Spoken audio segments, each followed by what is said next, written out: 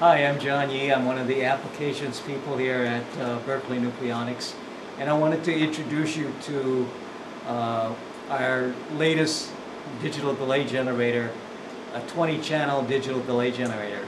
So the implication here is that in order to get 20 channels, you'd have to get five of these boxes stacked on one another. Uh, just think of the rack space that that entails. Um, we're, we're improving that situation a lot by now having it all in a single rack mount unit, which I'm showing you here. The rack mount unit has a nice touchscreen display um, so that you can you can you can see the front panel controls um, as well as having a GUI that can control up to 60 channels. Here's a picture of the rear panel and it shows you all the inputs, the outputs, as well as the local area network control and all that. But let, let me highlight some of the, some of the uh, connectors. These are the clock in and the clock out connectors. The clock in, as I have mentioned before, can be anywhere between 10 and 100 megahertz um, to the nearest 100 kilohertz. Uh, when you have a clock in, you can also have the, the, that particular clock buffered to the clock out. If you're using the internal clock, then that is available on the clock out.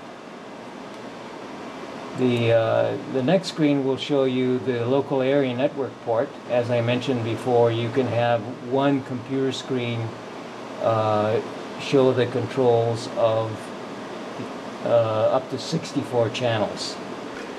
This picture shows you how we configure the uh, 20 output channels. Right now, these are BNC connectors and um, for the electrical outputs, but they can be converted to uh, optical connectors for optical outputs. Um, so that's that's also an option. Uh, I did mention that if you're using uh, optical outputs, um, you can have resolution. You can have an optional uh, resolution of one picoseconds. Uh, very very many people that use optical outputs take advantage of the fast rise time of the of the optical signal um, to uh, to time to the one picosecond resolution. The T0 output is basically a reference signal. Uh, it is either in sync with the internal rep rate generator that you choose if you're uh, if you're choosing uh, if you're choosing one, or it's in sync with the external trigger that you provide uh, at one of the uh, at, at the trigger input. This uh, next next picture is of the trigger input. Um, this is the external trigger uh, that um, triggers external events. We have um, as I mentioned before, we have uh, two external trigger possibilities.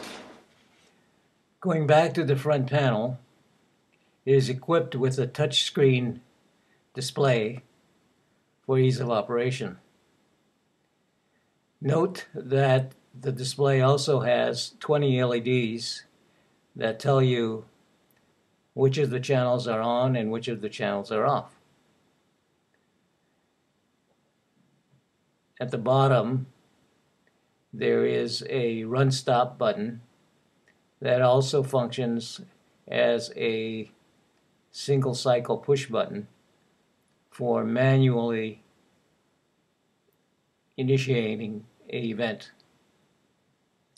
There are also three front panel auxiliary connectors that can serve as inputs or outputs depending on your application.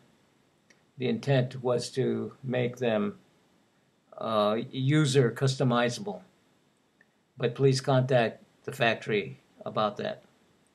I wanted to talk more about um, our display since our office manager Kristen, who likes to see everything on one screen,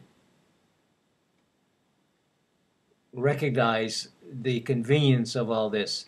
But I'll let Kristen speak for herself. What I like about this display is that I can see the important properties of all 20 channels on one screen, namely the trigger mode for each channel, its delay, amplitude, and width. Each of the 20 channels may have its own trigger mode. External trigger, internal, single cycle, and remote push button. The internal trigger mode includes three internal frequencies that you may select from.